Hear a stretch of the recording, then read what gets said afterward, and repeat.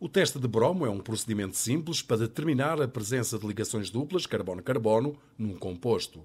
A cor castanha, característica da solução de bromo, desaparece à medida que a reação prossegue. Nos compostos com ligações duplas, como o caso dos alcenos, ocorre um ataque das ligações duplas por parte do bromo.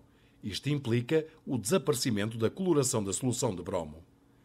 Compostos sem ligações duplas, como o caso dos alcanos, não reagem com o bromo, mantém-se a coloração da solução de bromo. Isto é considerado um teste de bromo negativo. Encha uma pipeta com solução de bromo.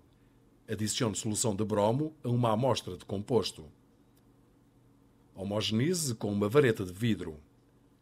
O desaparecimento da coloração da solução de bromo é um teste de bromo positivo, presença de ligações duplas no composto. Adicione solução de bromo a uma amostra de um composto Homogenize com a ajuda de uma vareta.